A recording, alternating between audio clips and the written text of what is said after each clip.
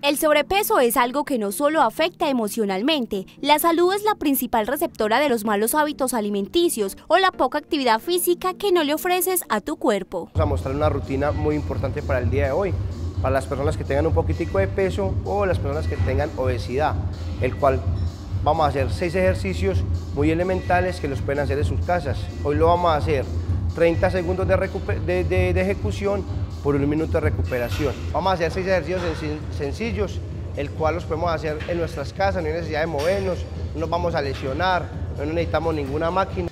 Con ese primer ejercicio estamos logrando a que el usuario vaya despegando un poquito todo lo que es articulación y a la vez vamos trabajando un poquitico la respiración. Ya sabemos que la respiración es muy importante para todos los ejercicios, el saber inhalar y el saber exhalar. ¿Listo? Como segundo ejercicio vamos a hacer los payasitos de frente.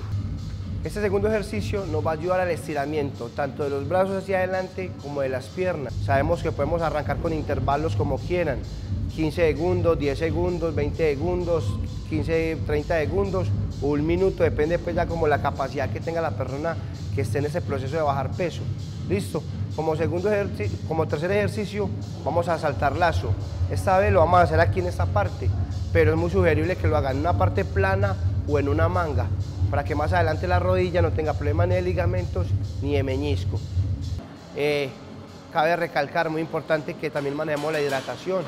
Sabemos que la respiración y la hidratación en cuestión de bajar peso es muy importante.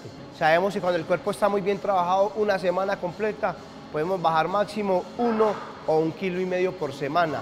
Está demostrado los estudios. Entonces, para que la gente que quiere bajar de peso y que puede entrar en sus casas les doy un consejo que tengan mucho ánimo y mucha paciencia.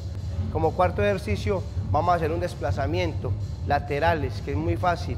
Saben que las personas que estén adelgazando, al menos si no capaces de tocar el piso, al menos si hagan pues como el gesto de la parte cardiovascular.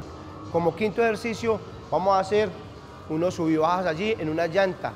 Es igual, activación tren inferior, poquitico los cuádriceps, poquitico la cadera.